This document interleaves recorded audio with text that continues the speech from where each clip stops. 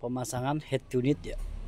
Avanza tahun 2010 ukuran 9 in ya.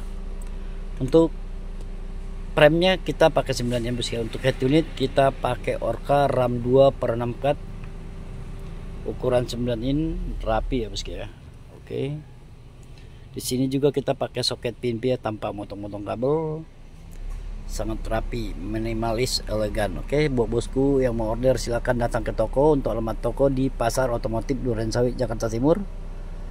Kita juga di sini melayani pemasangan audio ke rumah ataupun ke kantor untuk wilayah Bekasi dan Jakarta. Oke untuk pembelian ataupun pemasangan bisa pakai aplikasi ya kayak Shopee Tokopedia ya bosku ya oke silahkan di komen-komen. Jika rapi jika tidak rapi coba di komen dulu